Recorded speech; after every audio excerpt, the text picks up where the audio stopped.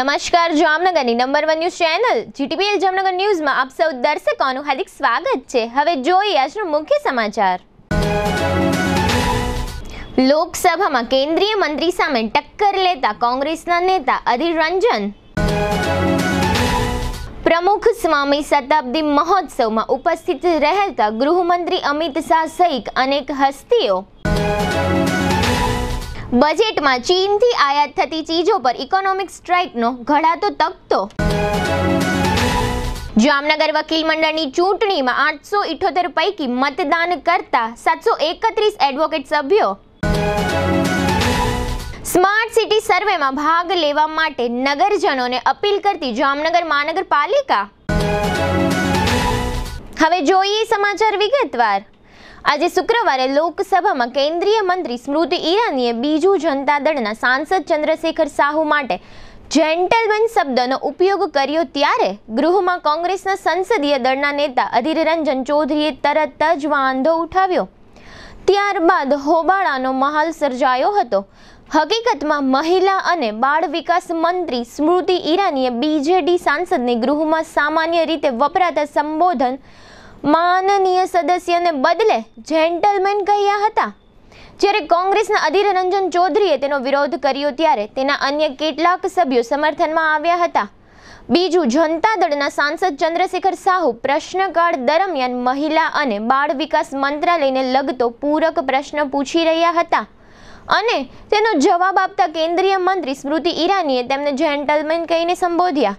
આ અંગે વાંધો વ્યક્ત કરતા કોંગ્રેસના સાંસદ અધીર રંજન ચૌધરીએ કહ્યું હતું કે આ સાંસદ ગૃહના સભ્ય છે અને આ રીતે જેન્ટલમન કહેવું યોગ્ય નથી. તેમણે કહ્યું કે મંત્રીને માનનીય સદસ્ય તરીકે સંબોધવા જોઈએ. અમદાવાદના ઓગણજ ખાતે ચાલી રહેલા પૂજ્ય પ્રમુખ સ્વામી શતાબ્દી મહોત્સવમાં ચૌદ ડિસેમ્બરે વડાપ્રધાનના હસ્તે મહોત્સવનો પ્રારંભ કરાવવામાં આવ્યા પછી કાલે પંદર ડિસેમ્બરે ગાંધીનગર લોકસભાના સાંસદ તેમજ દેશના ગૃહમંત્રી અમિત શાહે બ્રહ્મ સ્વરૂપ શ્રી પ્રમુખ સ્વામી મહારાજ શતાબ્દી મહોત્સવના ઉપક્રમે અમદાવાદ ખાતે અભૂતપૂર્વ આયોજન સાથે નિર્મિત ભવ્યાતિભવ્ય પ્રમુખ સ્વામી નગર ખાતે ઉપસ્થિત રહી ગુરુ હરિ પરમ પૂજ્ય મહંત સ્વામીજી મહારાજ તેમજ અન્ય પૂજનીય સંતોની ઉપસ્થિતિમાં માનવ ઉત્કર્ષના આંતરરાષ્ટ્રીય સંમેલનનું દીપ પ્રાગટ્ય કરી ઉદ્ઘાટન કર્યું હતું. અમિત શાહે સંપૂર્ણ પ્રમુખ સ્વામી નગરીમાં ભ્રમણ કરી દિવ્યતા અનુભવી હતી. ગઈકાલના આ સંમેલનમાં ઔદ્યોગિક ક્ષેત્રના અનેકવિધ અગ્રણીઓમાં અદાણી ગ્રુપના ચેરમેન ગૌતમ અદાણી, રિલાયન્સ ઇન્ડસ્ટ્રીઝના ડિરેક્ટર પરિમલ નથવાણી, જીએમઆર ગ્રુપના ચેરમેન જીએમ રાવ જોયડસ કેડિલાના ચેરમેન પંકજભાઈ પટેલ ટોરન્ટ ગ્રુપના સુધીર મહેતા, સન ફાર્માસ્યુટિકલ્સના મેનેજિંગ ડિરેક્ટર દિલીપ સંઘવી ઉપસ્થિત રહ્યા હતા. તેમજ હીરો ઇલેક્ટ્રિક અને હીરો એક્સપોર્ટ્સના ચેરમેન વિજય મુંજાલ પણ ઉપસ્થિત રહ્યા હતા. આ પ્રસંગે અમિત શાહે જય શ્રી સ્વામિનારાયણ કહી તેમજ બ્રહ્મ સ્વરૂપ શ્રી પ્રમુખ સ્વામી મહારાજનું સ્મરણ કરી તેમજ ગુરુ હરિ પરમ પૂજ્ય મહંત સ્વામી મહારાજ સહિતના સંતોના ચરણોમાં પ્રણામ કરીને સત્સંગીઓ અને હરિભક્તોને સંબોધન કરતા જણાવ્યું હતું કે આજે શાંતિ, દિવ્યતા, માનવ જીવનના ઉત્કૃષ્ટ મૂલ્યોનો સંદેશ એક સાથે પ્રાપ્ત થાય તેવી ભવ્ય નગરી જોવાનું સૌભાગ્ય પ્રાપ્ત થયું છે. આજ વર્ષની વર્ષા ઋતુમાં ભૂમિ પૂજન થયેલ અને આજે આટલા ટૂંકા સમયમાં નિર્માણ પામનારી આ પ્રમુખ સ્વામી નગરીની સક્સેસ સ્ટોરી દેશ અને વિશ્વભરના મેનેજમેન્ટના વિદ્યાર્થીઓ માટે સમજવા જેવી છે. બીએપીએસ સંસ્થાના વરિષ્ઠ સંત પૂજ્ય આનંદ સ્વરૂપ સ્વામી અને પૂજ્ય ડોક્ટર સ્વામી દ્વારા પ્રમુખ સ્વામી મહારાજના માનવ ઉત્કર્ષના ભગીરથ કાર્યો અને માનવ ઉત્કર્ષ માટે આધ્યાત્મિક માર્ગદર્શકની ભૂમિકા અને અનિવાર્યતા પર પ્રકાશ પાડવામાં આવ્યો.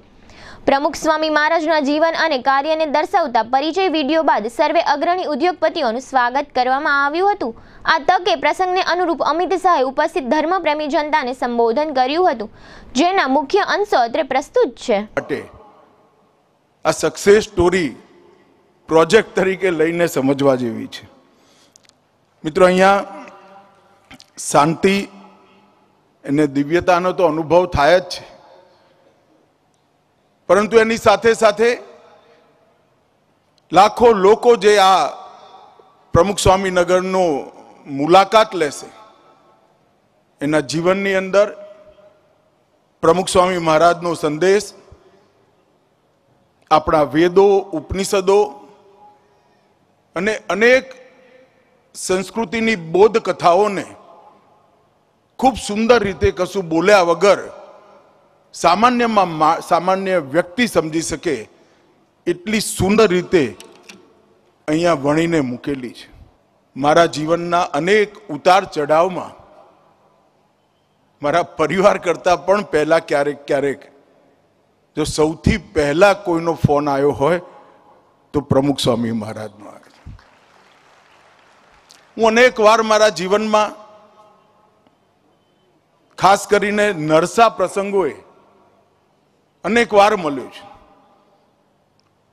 ઘણી બધી ચિંતાઓ, ઘણી બધી ઉપાધિઓ, ઘણા બધા પ્રશ્નો લઈને એમની જોડે જતો અને શાંતિ, ચેતના અને ઊર્જા લઈને હું પાછો જતો. ચીન તેની વિસ્તરણવાદી નીતિઓથી બચી રહ્યું નથી. ડ્રેગનનો તેના લગભગ તમામ પડોશી દેશો સાથે સરહદ વિવાદ છે.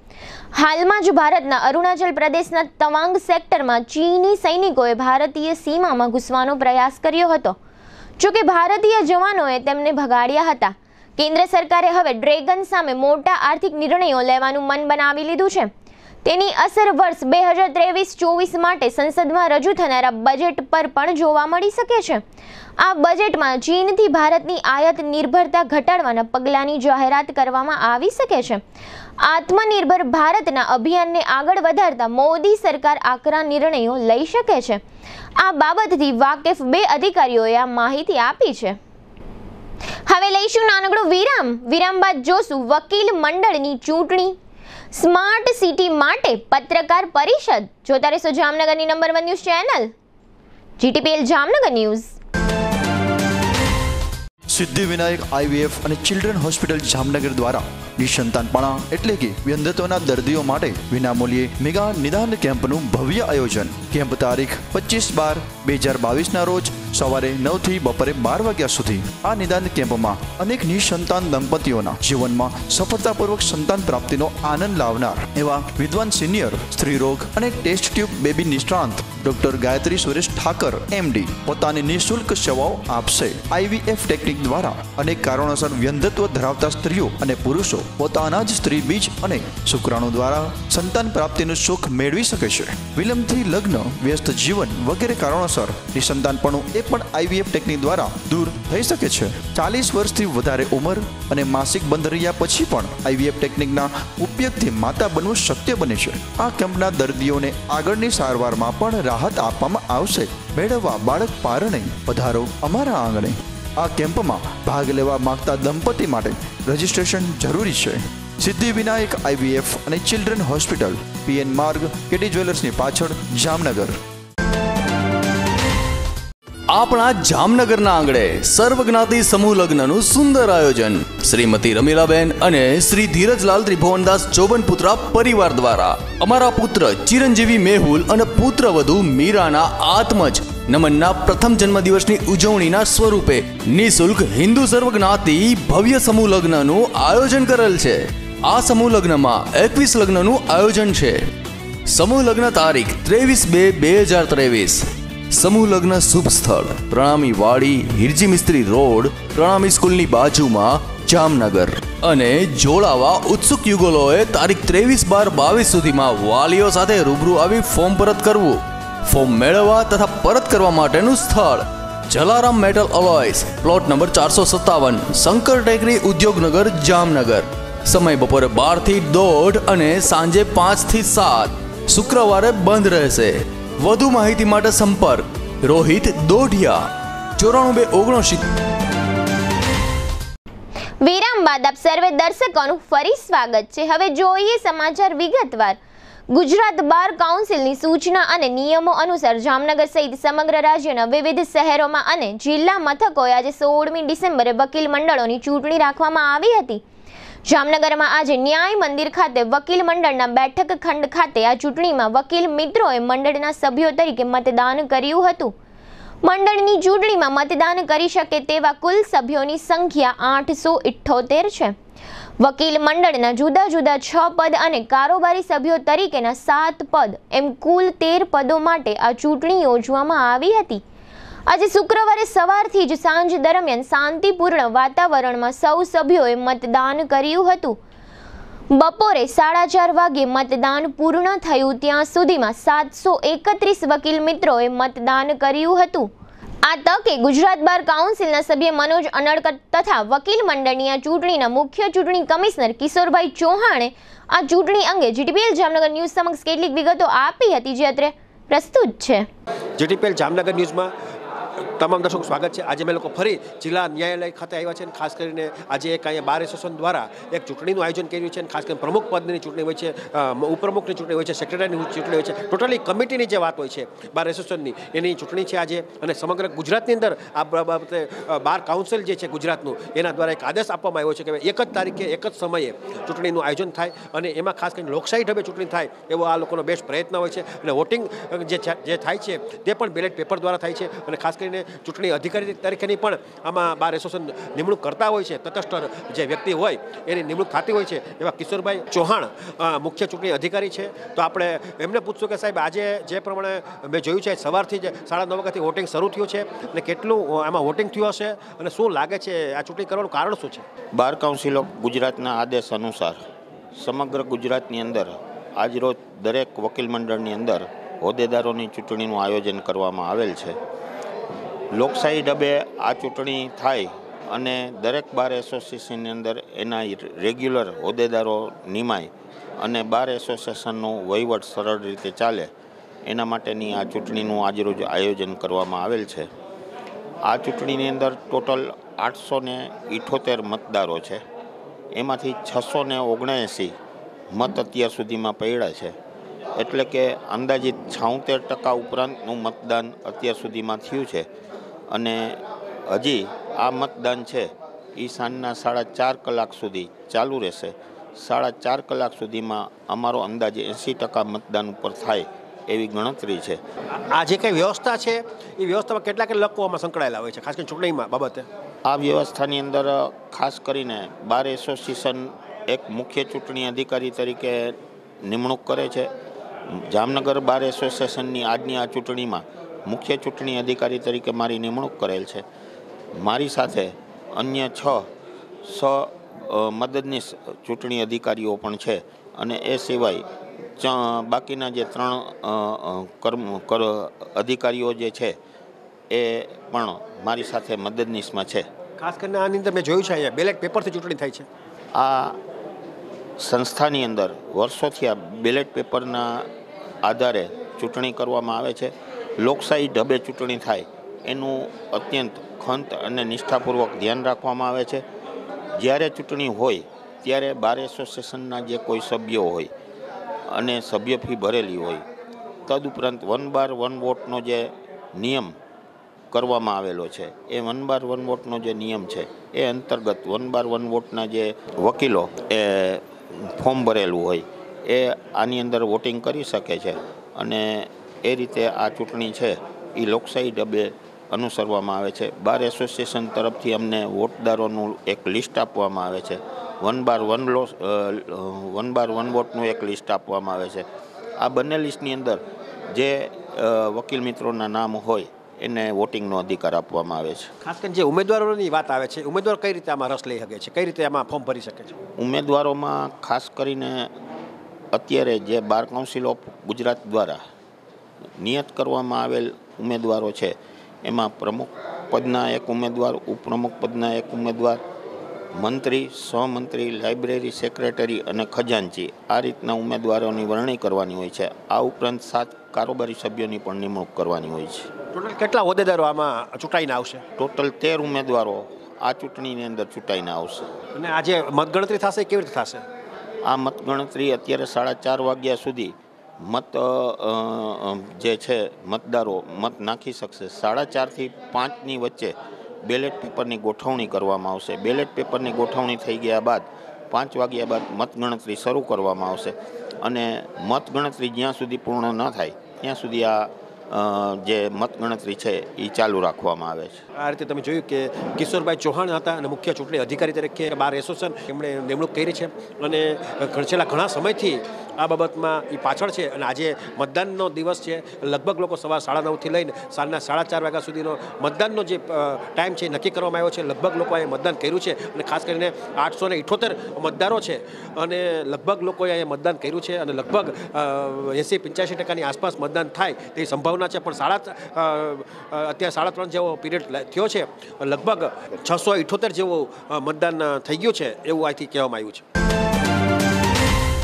બાર કાઉન્સિલ ઓફ ગુજરાતના ચૂંટણીના નિયમો મુજબ આજે સમગ્ર ગુજરાતમાં દરેક બારમાં તાલુકા લેવલથી ડિસ્ટ્રિક્ટ લેવલમાં આજે ચૂંટણી છે.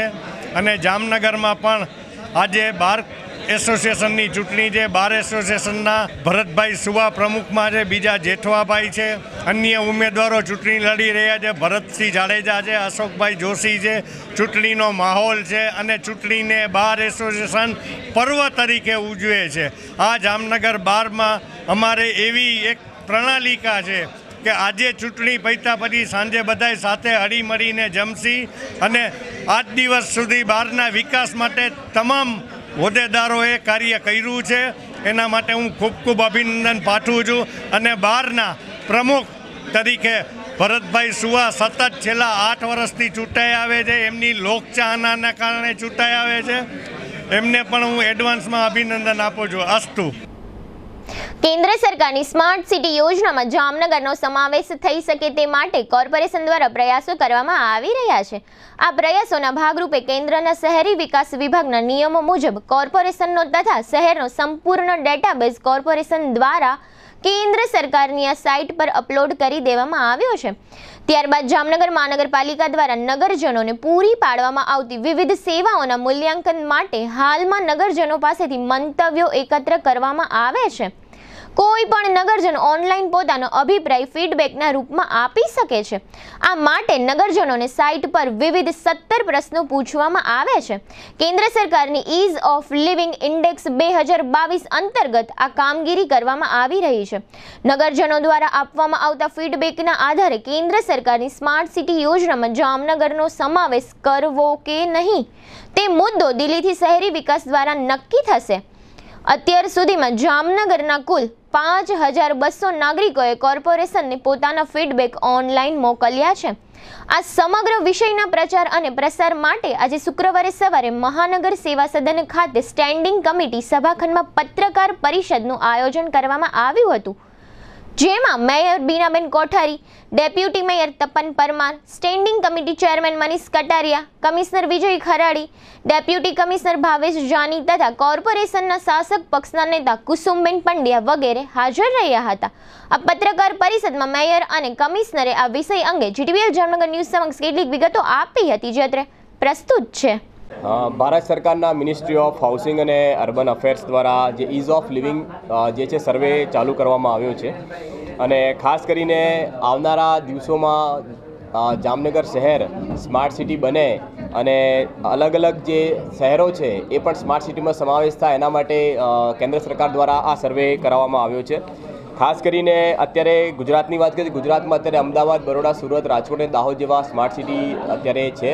અને આવનારા સમયમાં જે સર્વે થાય અને એમાં આપણું જામનગર શહેર પણ એનો નંબર આવે, એ માટેના જે છે એ સર્વે માટેની કામગીરી અત્યારે હાથ ધરવામાં આવી છે. ખાસ કરીને જે આ સર્વે છે, એમાં સ્વાસ્થ્ય, શિક્ષણ, હવા, પાણી, વીજળી અને અન્ય જે બાબતો છે એને ધ્યાને રાખી અને સર્વેમાં સત્તર જેટલા પ્રશ્નો પૂછવામાં આવ્યા છે. એ પ્રશ્નો જે છે, એને આપણે જવાબ દેવાના છે. એની સાથે સાથે એક વીડિયો લિંક જે છે, એને પણ વાયરલ કરવામાં આવશે. અને જે ક્યુઆર સ્કેન કોડ છે, એ ક્યુઆર સ્કેન કરી ક્યુઆર કોડને સ્કેન કરી અને આપણે જે માહિતી છે આ ભરી શકીએ છીએ કે જેથી આવનારા સમયમાં જ્યારે સ્માર્ટ સિટી મિશન અંતર્ગત જે પણ શહેરોને સ્માર્ટ સિટીમાં જાહેર કરવામાં આવે, એમાં આપણા જામનગર શહેરનો પણ સમાવેશ થાય એવી સૌ લોકો પાસે મારી અપેક્ષા છે અને આવનારા સમયમાં જેએમસી દ્વારા જે અલગ અલગ ચિત્રો, બિન સ્પર્ધા અને બાકીની જે સ્પર્ધાઓ યોજવાની છે, એમાં પણ બહુ મોટા પાયે લોકો ભાગ લે એવી મારી સૌ જામનગર વાસીઓને જામનગરના નાગરિકોને અપીલ છે. થેન્ક યુ ભારત સરકાર દ્વારા એક સ્માર્ટ સિટી માટેનો સર્વે કરવામાં આવ્યો હતો અને જે કંઈ ડેટા જામનગર મહાનગરપાલિકા દ્વારા માંગવામાં આવ્યો, એમાં આપણે ભારતભરમાં પ્રથમ એ ડેટાબેઝ આપણા દ્વારા મહાનગરપાલિકા દ્વારા મોકલવામાં આવ્યો છે. જે કંઈ મોદી સરકારનું સપનું છે કે પૂરા ભારતભરમાં સ્માર્ટ સિટીઓ બને, કેમ કે દરેક જિલ્લા અને તાલુકા કક્ષાઓમાંથી લોકો વધુ મોટા પ્રમાણમાં આજે શહેરીકરણ તરફ વળી રહ્યા છે, એટલે શહેરને પણ વિસ્તૃત રીતે વિકાસની યાત્રામાં સાથે જોડવા અને શહેર પણ વિકસિત બને અને લોકો ખૂબ સારી સુવિધા સાથે અહીં રહી શકે એવા જ કંઈક હેતુ સાથે આ સ્માર્ટ સિટી કોન્સેપ્ટ લઈને આવ્યા છે. આ તકે હું જામનગર મહા- મહાનગરપાલિકાના તમામ નાગરિકોને અપીલ કરું છું કે આ એક સર્વે આવ્યો છે. એમાં અમે જે ડેટાબેઝ મોકલ્યો છે અમારા અધિકારીઓ દ્વારા, તંત્ર દ્વારા મોકલવામાં આવ્યો છે. પણ નાગરિકો પણ એનું પણ મંતવ્ય એમના પણ અભિપ્રાયો જાણવાનો આ પ્રયાસ કરવામાં આવ્યો છે. એના માટે એક ક્યુઆર કોડવાળું લિંક અહીંથી મહાનગરપાલિકા દ્વારા રિલીઝ કરવામાં આવી છે. એમાં કુલ સત્તર પ્રશ્નોના જવાબ નાગરિકોએ પોતાના મંતવ્યો એમાં રજૂ કરવાના છે. આ આ એક બીજી પ્રક્રિયા છે. આ પ્રક્રિયા પૂર્ણ થયા બાદ જામનગર શહેર પણ એક સ્માર્ટ સિટીના માટેની એક અલગ ઓળખ માટે પોતાનો પ્રસ્તાવિત કરશે અને એના સ્માર્ટ સિટીમાં સર્વેમાં જામનગર મહાનગરપાલિકાનો નંબર આવ્યા બાદ સરકારશ્રીઓ તરફથી આપણને અલગથી લગભગ એકાદ હજાર કરોડ જેવી ગ્રાન્ટ શહેરને વિકસિત કરવા માટે મળ- શકે છે. તો આ તકે હું જામનગર મહાનગરપાલિકા દ્વારા મારી સાથે ડેપ્યુટી મેયર છે શાસક સ્ટેન્ડિંગ કમિટીના ચેરમેન શ્રી શાસક પક્ષના નેતા અને દંડક શ્રી. અમે દરેક આ દ્વારા નાગરિકોને અપીલ કરીએ છીએ કે આ સર્વેમાં વધુમાં વધુ લોકો ભાગ લઈ અને જામનગર શહેરની આ વિકાસ યાત્રામાં અમારી સાથે જોડાય અને આવનારા દિવસોમાં જામનગર શહેર પણ સ્માર્ટ સિટી બને એવી હું આપ સર્વે પાસેથી અપીલ કરું છું. મહાનગરપાલિકા દ્વારા બોલાવવામાં આવેલી પત્રકાર પરિષદ પૂર્ણ થયા બાદ જીટીપીએલ જામનગર ન્યૂઝના મેનેજિંગ એડિટર જયેશભાઈ રૂપારેલીએ ડેપ્યુટી કમિશનર ભાવેશ જાનીની મુલાકાત લીધી હતી. મુલાકાત દરમિયાન જાનીએ જણાવ્યું હતું કે ઇઝ ઓફ લિવિંગ ઇન્ડેક્સ બે હજાર બાવીસના સર્વેમાં જામનગરને નંબર વન બનાવવા આમ જનતાને અપીલ કરી હતી. ભાવેશ જાનીએ વધુમાં જણાવ્યું હતું કે ભારત સરકાર દ્વારા મિનિસ્ટ્રી ઓફ હાઉસિંગ એ અર્બન અફેર્સ વિભાગ દ્વારા સમગ્ર દેશમાં દસ નવેમ્બર બે હજાર બાવીસથી ઇઝ ઓફ લિવિંગ ઇન્ડેક્સ બે હજાર બાવીસના ભાગરૂપે સિટીઝન પરસેપ્શન સર્વે માટેની માર્ગદર્શિકા પ્રસિદ્ધ કરવામાં આવેલ અને તેના ભાગરૂપે વીડિયો કોન્ફરન્સથી દેશમાં બસો છાસઠ જેટલા શહેરોમાં સ્માર્ટ સિટી જાહેર કરવાની સર્વેની કામગીરી શરૂ થઈ ગયેલ છે. ગુજરાત રાજ્યના આઠ મહાનગરપાલિકા ઉપરાંત દાહોદ શહેર મળીને કુલ નવ શહેરોમાં સ્માર્ટ સિટીના સર્વેની કામગીરી પૂરજોશમાં શરૂ કરી દેવામાં આવી છે. ઇઝ ઓફ લિવિંગ ઇન્ડેક્સ બે હજાર બાવીસ અંતર્ગત સિટીઝન પરસેપ્શન સર્વેમાં જામનગર શહેરના અઢાર વર્ષથી ઉપરની ઉંમરના સૌ નગરજનોને આ સર્વેમાં ઉત્સાહપૂર્વક ભાગ લેવા અનુરોધ કરવામાં આવ્યો છે. તેમજ જામનગર શહેરમાં આપને મળતી પ્રાથમિક સુવિધાઓ અંગે ફીડબેક આપવા જામનગર મહાનગરપાલિકા સૌને આવકારે છે. આ તમામ બાબતની વિગતો ડેપ્યુટી કમિશનર ભાવેશ જાનીએ જીટીપીએલ જામનગર ન્યૂઝ સમક્ષ આપી હતી, જેના મુખ્ય અંશોત્રે પ્રસ્તુત છે. જામનગર શહેરને સ્માર્ટ સિટી બનાવવા માટે હાલે સર્વે ચાલી રહ્યો છે. એમાં ટેકનિકલ જે બાર કમ્પોનન્ટમાં જે ડેટા બેઝ દેવાનો હતો, સ્વચ્છતા ઇકોનોમી એકાઉન્ટ પછી જામનગર મહાનગરપાલિકાની આર્થિક પરિસ્થિતિ કેવી છે, એમાં સફાઈ કેવી છે, પાણીનું નેટવર્ક કેવું છે, સફાઈનું સિવરેજ નેટવર્ક કેવું છે, આ બધી માહિતી ટેકનિકલ ડિટેલ્સ તમામ જુદા જુદા બાર કમ્પોનન્ટમાં આપી દેવામાં આવી છે. આઈસીટી ઇન્ફ્રાસ્ટ્રક્ચર કેવું છે. આ ઉપરાંત હવે પ્રેક્ટિકલી સાઇટ ઉપર સર્વે કરવા માટે એની ટીમ આવેલ છે. તેમજ જામનગર શહેરનું માટે એક પોર્ટલ ઓપન કરવામાં આવેલ છે નવ તારીખથી લઈ નવ ડિસેમ્બરથી બાવીસ જાન્યુઆરી સુધી. જેમાં નીચે મુજબના ખાસ સ્ટેપ ફોલો કરવાથી જામનગર શહેરના લોકો પોતાનો ફીડબેક આપી શકે છે. જેમાં સત્તર જેટલા પ્રશ્નો છે. જેમાં એક ક્યુઆર કોડ આપેલ છે. ક્યુઆર કોડ ઓપન કર ક્યુઆર કોડ સ્કેન કરવાથી એક લિંક ઓપન થશે. લિંકમાં એક જામનગર મહાનગરપાલિકાનો યુએલબી કોડ આપેલ છે. જે કોડ છે એસી પચીસ સોળ. આ કોડ એપ્લાય કરવાથી સત્તર પ્રશ્નો ઓપન થાય છે. જેમાં જામનગર મહાનગરપાલિકાનું સ્વચ્છતા, પર્યાવરણ, એજ્યુકેશન, હેલ્થ બાબતના પ્રશ્નો છે. આ પ્રશ્નોનો આપને જે યોગ્ય લાગે એવો ઉત્તર આપે અને જામનગર મહાનગરપાલિકાના તમામ લોકોને અપીલ કરવામાં આવે છે કે અત્યાર સુધીમાં પાંચ હજાર બસો લોકોએ આમાં ભાગ લીધો છે અને બાવીસ જાન્યુઆરી સુધી આની મુદત છે. તો મેક્સિમમ લોકો આનો લાભ લઈ અને જામનગર મહાનગરપાલિકાને સ્માર્ટ સિટી બનાવવા તરફ આગળ આવે, એવી જામનગર મહાનગરપાલિકાના નાયબ કમિશનર તરીકે અપીલ કરું છું. હવે લઈશું નાનકડો વિરામ. વિરામ બાદ જોશું દિવાયત ખવડ પોલીસ સમક્ષ હાજર અને શેર બજાર સહિતના સમાચારો. જોતા રહેશો જામનગરની number one news channel GTPL Jamnagar news metro સિટીમાં હોય તેવી સૌથી મોટી હોસ્પિટલ જામનગરમાં સિદ્ધિવિનાયક બાળકોની હોસ્પિટલ, નવજાત શિશુ તથા બાળકોને ચોવીસ કલાક સારવાર આપતી હોસ્પિટલ. આ હોસ્પિટલમાં સૌથી વધુ સાડત્રીસ વર્ષથી વધુ સમયનો અનુભવ ધરાવતા ડોક્ટર સુરેશ ઠાકર બાળ રોગ નિષ્ણાંત તરીકે સેવા આપે છે. ઓછા વજનવાળા તથા અધૂરા મહિને જન્મેલા નવજાત શિશુઓ માટે સર્વ કંટ્રોલ વોર્મર, નવજાત શિશુ માટે સ્પેશિયલ કૃત્રિમ શ્વાસોશ્વાસ મશીન, પલ્સ ઓક્સિમીટર ઇસ્યુજન્સ પંપ સાથે નવજાત શિશુ વિભાગ કમળા માટેનું double surfaced phototherapy unit, multipara monitor સાથેનું પીઆઈસીયુ, નાના તથા મોટા બાળકોને થતી ગંભીર બીમારીઓ જેવી કે આંચકી, વાય, અસ્થમા, કમળો, ઝેરી ઝાડા, ન્યુમોનિયા, મગજનો તાવ, મેલેરિયા, ટાઇફોઇડ તાવ, ઝાડા ઉલટી, ભરણી, બાળ ટીબી, બાળ ડાયાબિટીસ, એલર્જી જેવા રોગોની સારવાર. General room special AC room semi special AC room સહિતની ફેસિલિટી અહીં દરેક પ્રકારની રસી મૂકવામાં આવે છે. વિનમ્ર અને અનુભવી સ્ટાફગણ ડોક્ટર સુરેશ ઠાકરની સિદ્ધિવિનાયક બાળકોની હોસ્પિટલ ઇન્કમટેક્સ ઓફિસ સામે પંડિત નહેરુ માર્ગ, જામનગર. નિસંતાન દંપતીઓ માટે એક આશાનું કિરણ, સિદ્ધિવિનાયક આઈવીએફ અને ચિલ્ડ્રન હોસ્પિટલ જામનગર. પાંત્રીસ વર્ષથી સ્ત્રી રોગ નિષ્ણાંત તરીકે બહોળો અનુભવ ધરાવતા અને નિષ્ણાંત infertility specialist doctor Gayatri Thakar laparoscopy, IUI, IVF, ICSI જેવી ટેસ્ટ ટ્યુબ બેબી ટેકનિકનો ઉપયોગ કરી નિસંતાન દંપતીને સંતાન પ્રાપ્તિ માટે ભારે સફળતા મેળવેલ છે. લગ્નના બે વર્ષ પછી પણ જો સંતાન ના થાય, તો તેના ઘણા કારણો હોઈ શકે, જેમ કે કોથળીનું મુખ બંધ હોવું અને ફાઇબ્રોડ ગાંઠ જેવા અન્ય પ્રશ્નો, ફિલિપિન ટ્યુબ બંધ હોવી અથવા ફૂલેલી હોવી અંડાશયની સિસ્ટ જેવી તકલીફ, પીસીઓએસ જેવા હોર્મોનના પ્રોબ્લેમ, પુરુષોમાં શુક્રાણુની કમી, દંપતીના અંગત પ્રોબ્લેમ્સ જેવા કે સંબંધ થવામાં તકલીફ, પુરુષોને મૂંઝવતા અન્ય પ્રશ્નો માટે સિદ્ધ વિનાયક આઈવીએફ હોસ્પિટલમાં ડોક્ટર ગાયત્રી ઠાકર દ્વારા સરળ અંગત અને પરિણામલક્ષી અભિગમ દ્વારા સુંદર પરિણામો મળે છે. આઈવીએફ ટેકનોલોજી એક વિકસિત પદ્ધતિ છે, જે ટેસ્ટ ટ્યુબ બેબીના નામથી પ્રચલિત છે.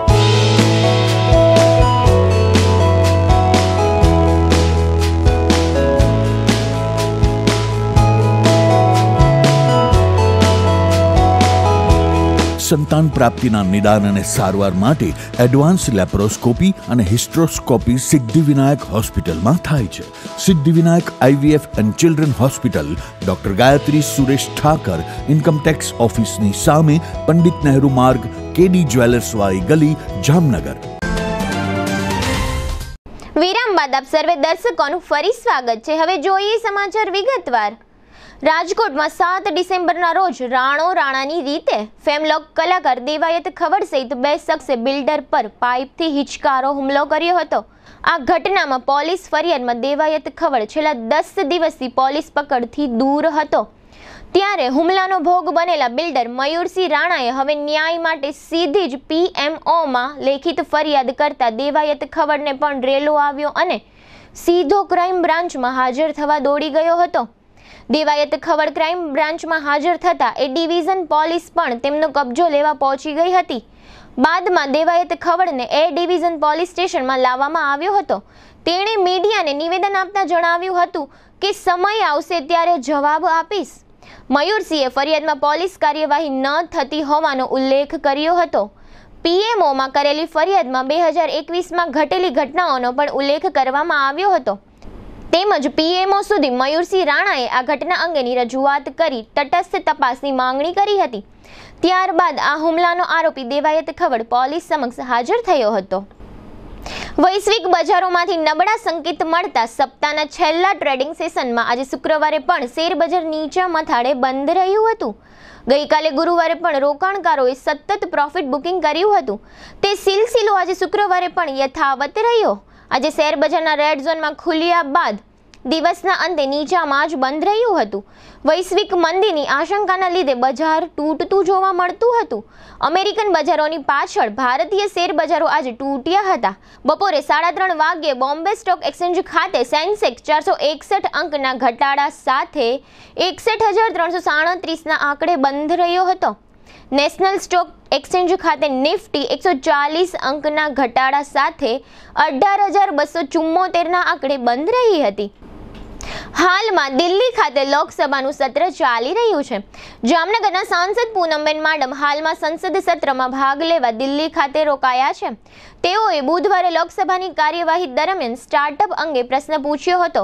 આ પ્રશ્નના અનુસંધાને લોકસભામાં વાણિજ્ય અને ઉદ્યોગના રાજ્યમંત્રી સોમ પ્રકાશે જણાવ્યું હતું કે દેશમાં જેટલા પણ સ્ટાર્ટઅપ નોંધાયા છે તે પૈકી પિસ્તાલીસ ટકા સ્ટાર્ટઅપ ટાયર ટુ અને ટાયર થ્રી એટલે કે નાના શહેરોમાંથી આવ્યા છે અત્રે ઉલ્લેખનીય છે કે ઉદ્યોગ સાહસિકોને પ્રોત્સાહન આપવા માટે કેન્દ્ર સરકાર દ્વારા સ્ટાર્ટઅપ બિઝનેસને ઉત્તેજન આપવામાં આવી રહ્યું છે લોકસભામાં પૂનમબેને ઉઠાવેલ પ્રશ્ન અને તેનો જવાબ આપતા રાજ્યમંત્રી સોમ પ્રકાશના મુખ્ય અંશોદ્રે પ્રસ્તુત છે question number 103 Shrimati Poonam ben madam the question number 103 माननीय मंत्री जी उनको सर वैसे मंत्री जी ने बहुत अच्छे से डिटेल में उत्तर भी दिया है but I would like to know from the honourable minister sir through you that most of our startups are based out of uh, metros. I would uh, like to know uh, through the honorable minister that out of the 84,000 startups that we have in our country, sir, how many of these startups are based out of tier 2 and tier 3 cities? And also, what measures is uh, special measures is the government taking to promote entrepreneurship beyond uh, our metros, sir? Speaker sir, the, the startups are- are set up in all the 30 states and union territories, and I'm happy to tell that 80% of the, of the startups and six, 660, 660 districts, 45% of these start- startups are in tier 2 and tier 3 three cities. So it's our, in our part of the state, 45% and tier 2 and tier 3 cities, sir. Delight club દ્વારા town હોલમાં ગઈકાલે ગુરુવારે fashion show યોજવામાં આવ્યો હતો. આ fashion શોમાં એકસો ત્રીસથી વધુ મહિલાઓએ ભાગ લીધો હતો. આ ફેશન શોને નિહાળવા માટે ક્લબના મહિલા મેમ્બરોએ બહોળી સંખ્યામાં હાજરી આપી હતી. આ ફેશન શોમાં સોળ વર્ષની યુવતીથી માંડીને સિત્તેર વર્ષના વૃદ્ધ સુધીના સૌ સ્પર્ધકોએ ભાગ લીધો હતો. ફેશન શોમાં જુદા જુદા પાંચ વિભાગોમાં સ્પર્ધાઓ રાખવામાં આવી હતી.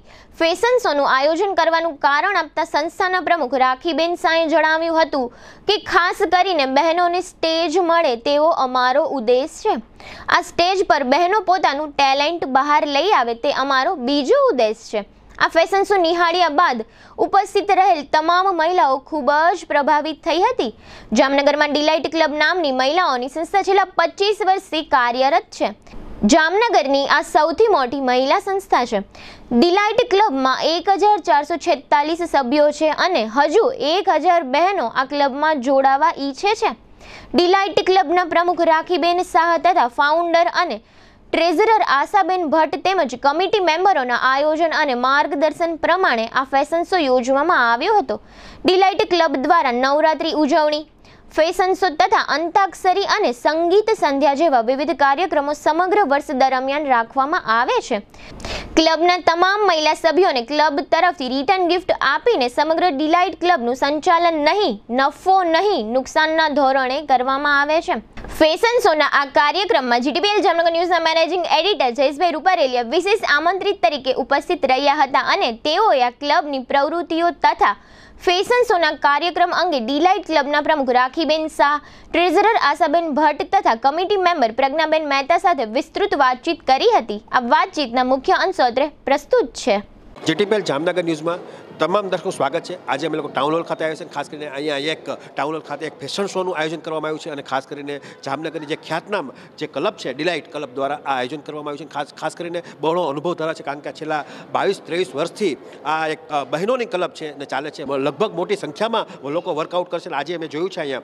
લગભગ લોકોની વાત કરીએ તો સોળથી લઈને સિત્તેર વર્ષના લોકો આમાં પાર્ટિસિપેટ થયા છે અ, ફેશન શોમાં ભાગ લીધો છે અને ડિલાઇટ ક્લબના જે પ્રેસિડેન્ટ છે એવા રાખીબેન શાહ કે જે અ, જામનગર જામનગર લેવલે મોટું મોટું જાણીતું નામ છે અને છેલ્લા એક વર્ષથી ડિલાઇટ કપના પ્રમુખ તરીકે સેવા આપે છે.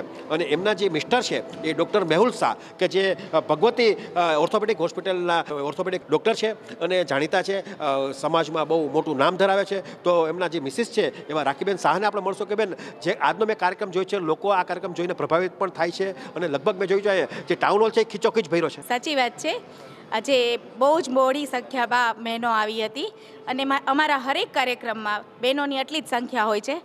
અમે ક્લબમાં જ ચૌદસો ને સાઠ જેટલી તો બહેનો છે. અને એક હજારથી ઉપર હું કહી શકું કે વેઇટિંગમાં છે કે જેમને મેમ્બર બનવું છે. પણ એટલી જગ્યા નથી ક્યાંય પણ કોઈ પણ જગ્યાએ કે અમે એ લોકોને મેમ્બર બનાવી શકીએ કરીને. આજનો જે ફેશન શો યોજવામાં આવ્યો તેમાં શું વિશેષતા શું છે? વિશેષતામાં એવું છે કે અત્યારે હમણાં લગ્ન ગાળો ગયો. એટલે રિસેપ્શન વેર છે પછી ટ્વિનિંગ રાઉન્ડ છે વેસ્ટર્નમાં તો બધાને બહુ જ ગમે પહેરવાનું. એટલે એ અલગ અલગ રીતે દરેક ઉંમરનાઓને શોભે એ રીતે અમે રાખ્યું છે હરીફાઈ બધી. પાંચ હરીફાઈ રાખી છે. આજનો જે કાર્યક્રમ છે એ સિવાયને ધારો તમે વર્ષ દાડે ઘણા કાર્યક્રમ કરો છો એમાં શું વિશેષતા હોય છે? અમારે જો બે એવા કાર્યક્રમો હોય છે કે જે ઓપન જામનગર રાખીએ છીએ. એક તો નવરાત્રિ ને એક આ ફેશન શો બરાબર? અને બાકી બધા સંગીત બહેનોને જે ગમે જેને એને અનુકૂળ હોય જે ગમે જે ટાઈમ કાઢી શકે એવા અમે પ્રોગ્રામ યોજીએ. સંગીત સંધ્યા છે પછી અંતાક્ષરી છે આ બહેનોને બહુ ગમે. એ અમે એવી રીતે રાખીએ કે એ લોકો ફ્રેશ થાય અને મજા કરે. ખાસ કરીને જે લોકો આની અંદર ભાગ લે છે તમારા જે ડિલાઇટ ક્લબના મેમ્બર બન્યા છે એ લોકોનો મુખ્ય ફાયદો શું થાય છે? ફાયદો એ થાય કે એ લોકોને એક તો શીખવા મળે. સ્ટેજ મળે એ લોકોનો ડર જાય અને એકને જોઈ અને બીજાને ઈચ્છા થાય કે હું પણ પાર્ટિસિપેટ થાઉં. જેથી કરીને એ જોઈ જોઈને એ લોકો માણ વ્યક્તિઓ જે ક્યાંય આગળ નથી જતી ક્યાંય બોલતી નથી એ લોકોને બધું આવડ આવડે. જોયું છે માત્ર માત્ર બહેનો છે જેન્ટ્સ એક પણ નથી. ના આ ફક્ત ને ફક્ત બહેનોની જ ક્લબ છે જેન્ટ્સને અલાવ જ નથી. આજ આ જ રીતે આપણી સાથે જે એમના જે ફાઉન્ડર છે એવા આશાબેન ભટ્ટ પણ જોડાયેલા છે. આપણે એમને પૂછશું કે બેન આ સ્થાપના કરવાનો મતલબ શું છે? આ તમને પ્રેરણા ક્યાંથી મળી? અમે એવું નક્કી કર્યું કે આપણે લેડીઝોને પ્લેટફોર્મ મળે અને એમ કે બહેનોને એમ કે જે ઘરમાં ને ઘરમાં સતત હોય છે, તો એને સ્ટેજ મળે. એના માટે કરીને અમે આ કર્યું ક્લબ સ્થાપના. અમે ત્યારે સાત ફાઉન્ડર હતા. અત્યારે અમે અત્યારે હાજરમાં પાંચ ફાઉન્ડર છે અહીંયા. એક અરુણાબેન ગુલગુલા એક્સપાયર થઈ ગયા. એક બેને છોડી દીધું. એટલે અમે સાત ફાઉન્ડર હતા. અત્યારે અમે પાંચ હાજર જ છીએ એમાં. અને અત્યારે હું પાંચ વર્ષથી ટ્રેઝરરનું પણ મારે કમ્પલસરી સંભાળવું પડ્યું છે. એટલે પાંચ વર્ષથી કન્ટિન્યુ ટ્રેઝરનું પણ સંભાળું છું. અને આમાં એવું છે કે સોળ વર્ષથી સિત્તેર વર્ષના લાકડી લઈને પણ સ્ટેજ ઉપર આવે છે. કે ના, અમે ઘરમાં ને ઘરમાં સતત અહીં છીએ, અમે સતત કામ કરતા હોઈએ, તો અમને ડિલાઇટ ક્લબમાં ક્યારે પ્રોગ્રામ થાય ને બધા રાહ જોઈ છે. અને ડિલાઇટ ક્લબ એટલે અમારે ટાઈમસર પતી જાય પ્રોગ્રામ કોઈ દિવસ અમારે સાત વાગ્યા પછી અમારો પ્રોગ્રામ હોય નહીં. સાત વાગે અમારે આઠ વાગે અમે બધા ઘર ભેગા કમિટીવાળા થઈ ગયા હોઈએ. એટલે અમારે પ્રોગ્રામમાં એ છે મુખ્ય. અને નાસ્તો પણ બધાને એવો હોય કે ના, એ લોકોને ઘરે જઈને જમવું ન પડે. કાયમ, દરેક મિટિંગમાં અને અમારે બધા કમિટીનો એટલો સંપ છે કે બધા ખૂબ જ ત્રીસ જણા અમે કમિટીમાં છે અહીંયા બધા સંપીને કામ કરે છે. અને યંગ જે છે બધા એ તો દોડી દોડીને એકદમ મનમાં સપોર્ટ કરે છે અને સરસ કામ કરે છે. ખાસ કરીને જે લોકો તમારા ચૌદસોથી વધારે મેમ્બર ઓલરેડી છે જ. પણ આની અંદર મેમ્બર થવું હોય તો શું કરવું પડે લોકોએ? એટલે એવું છે બધાના બહુ ફોન આવે છે. કે અમને મેમ્બર થવું છે. અત્યારે કોઈ સ્કોપ જ નથી. કોઈ કેન્સલ થાય કદાચ. તો વાયા વાયા કરી લે છે. કે જેણે આ રાખીની બેન છે તો એ રાખીને નથી રહેતું. એની બેનને આપશે ને. એને મેમ્બર થવું છે. એટલે અમારા હાથમાં તો કોઈ એવા ફોર્મ આવતા જ નથી. સભ્ય ફે શું લે છે આપણે? અમે સભ્ય બી આમ તો આટલા વર્ષથી શરૂઆત અમે અઢીસો રૂપિયાથી કરી હતી. પછી આ મોંઘવારીને જોતાં જોતાં અમે ગયા વર્ષથી સાતસો રૂપિયા કરી. છે એટલે અમારે પાંચ વર્ષથી છસો હતી અને ગયા વર્ષથી અમે સાતસો કરી છે.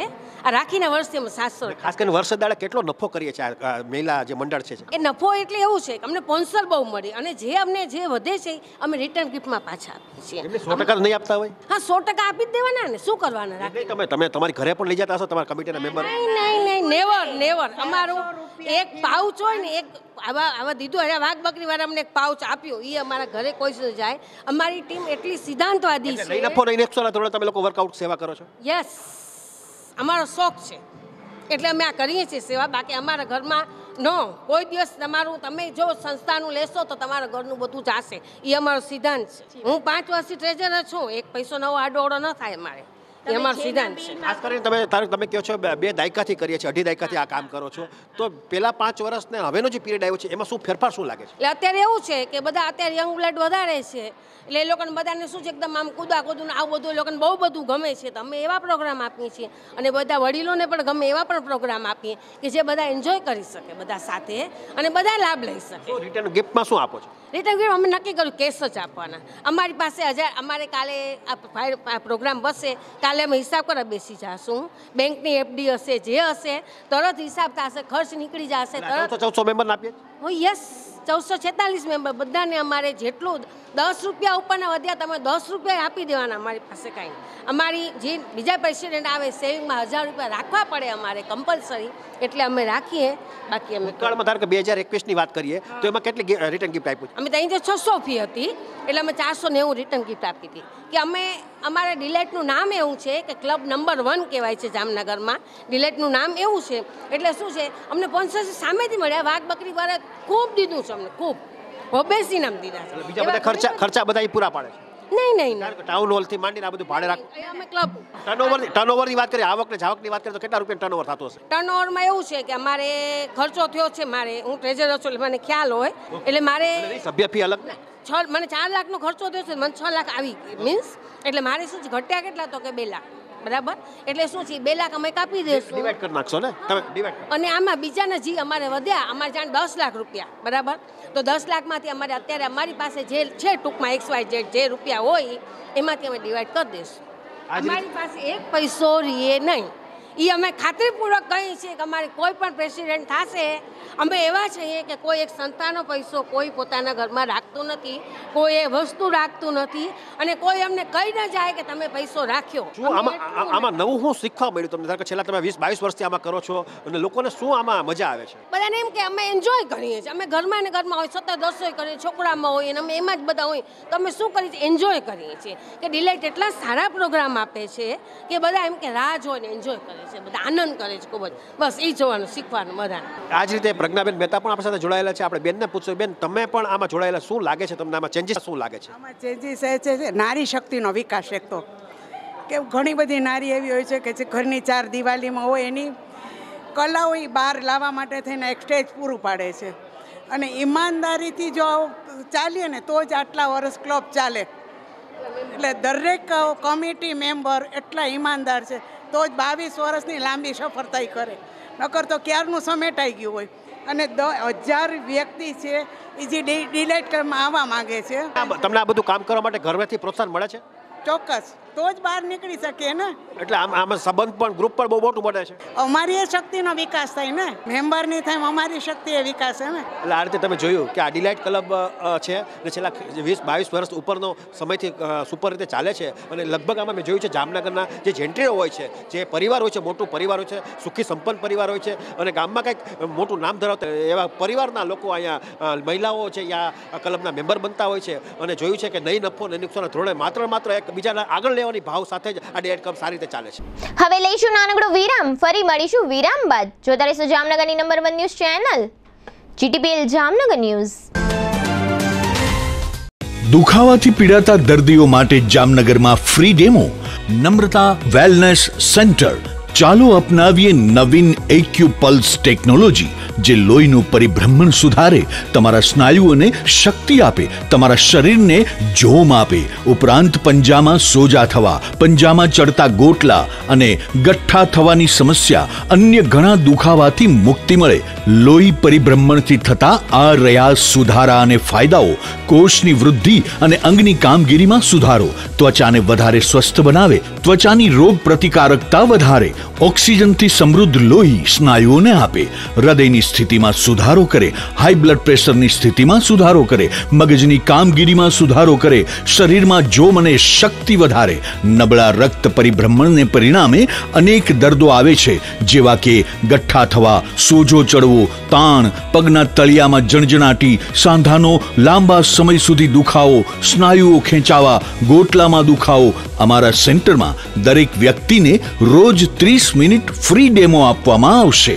આ સેન્ટરમાં ફ્રી ડેમોનો લાભ લઈ દુખાવાના દર્દથી મુક્તિ મેળવો. નમ્રતા વેલનેસ સેન્ટર, બ્રાન્ચ એક, પટેલ કોલોની, શેરી નંબર બે, બેંક ઓફ બરોડાની બાજુમાં જામનગર.